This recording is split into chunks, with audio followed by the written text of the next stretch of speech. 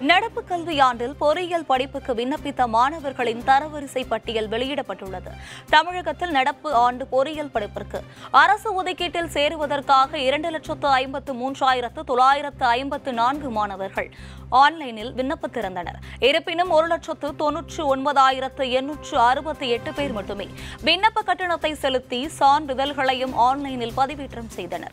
இந்நிலையில் இவர்களில் கல்லூரிகளில் சேர்வதற்கான கலந்தாய்வுக்கு மதிப்பெண் தரவரிசை பட்டியலை தொழில்நுட்ப கல்வி இயக்குனர் வீர ராகவ் ராவ் வெளியிட்டார். அப்போது பேசிய அவர் கடந்த ஆண்டை விட இந்த ஆண்டு இருபதாயிரத்து தொள்ளாயிரத்து எண்பது மாணவர்கள் அதிகமாக இடம் பெற்றுள்ளனர் என்றும் அரசு பள்ளியில் பயிலும் ஏழை மாணவர்களுக்கான ஏழு புள்ளி ஐந்து சதவீத இடஒதுக்கீட்டில் முப்பத்தி இரண்டாயிரத்து இருநூற்று இருபத்தி மூன்று மாணவர்கள் இடம் பெற்றுள்ளனர் எனவும் கூறினார்.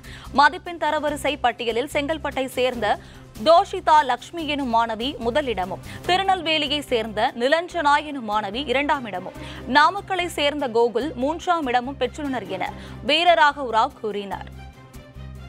கவுன்சிலிங் இருபத்தி ரெண்டு ஏழு ரெண்டாயிரத்தி இருபத்தி நாலுலேருந்து இருபத்தி மூணு ஏழு ரெண்டாயிரத்தி இருபத்தி நாலு வரை counselling for government seven point five quota special reservation category differently able ex servicemen sports quota நடத்தப்படுவதும் தெரிவித்துக் கொள்கிறேன்.